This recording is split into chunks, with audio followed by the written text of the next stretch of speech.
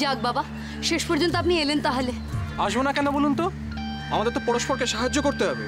আপনাকে কি আমি বিপদে ফেলতে পারি? দলিলটা এনেছেন? এনেছি।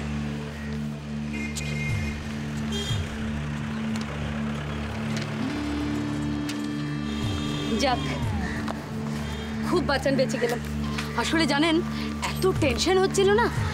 মানে ড্রয়ারটা খুলে এই দলিলটা যদি দিদি দেখতে না পেতেন কি ভাবতেন বলুন?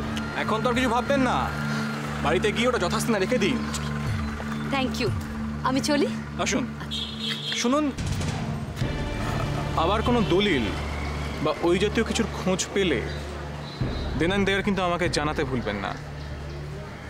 এর জন্য অবশ্য আলাদা আলাদা করে পেয়ে যাবেন। আপনাকে জানাব আমি। আসলে বিনোদিনীর এই টাকা কটা পূরণ করে দিতে পারলেই চলি।